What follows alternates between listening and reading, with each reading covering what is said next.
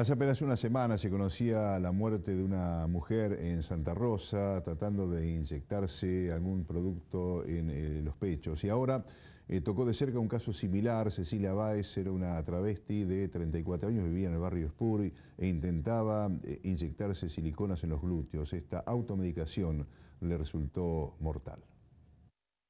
Cecilia Báez era travesti. Había nacido en Chaco hace 34 años y llegó hace un tiempo a nuestra ciudad para buscar un futuro mejor. Aquí, sin embargo, encontró la muerte. La tragedia comenzó en esta vivienda del barrio Spur, en donde Cecilia decidió inyectarse silicona con el objetivo de incrementar el volumen de sus glúteos.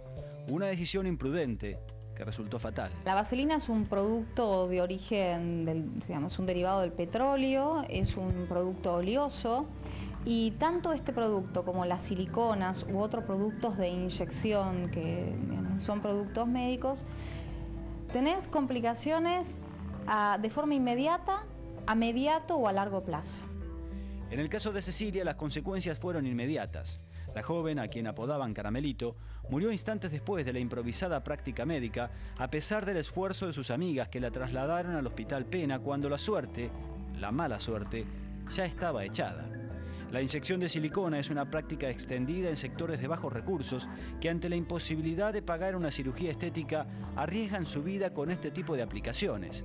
Casi un suicidio vinculado a la pobreza y la ignorancia.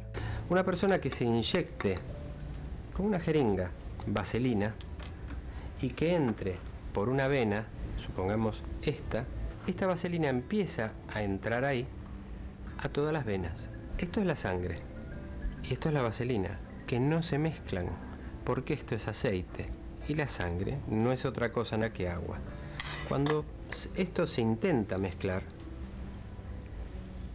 se van a formar pequeños globulitos que ya se están viendo acá.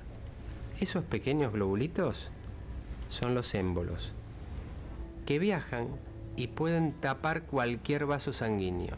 Esto es lo que va al pulmón. Esto es lo que va al pulmón, que no era otra cosa que una esponja, donde el aire circulaba con facilidad. Cuando el aceite o vaselina o derivado del petróleo tapa el pulmón, el pulmón deja de funcionar y no sirve para respirar. Se llama tromboembolismo pulmonar por embolización de trombo generado por la vaselina. Cecilia, cuyo nombre legal era Luis Barbosa, no tenía familiares en Bahía.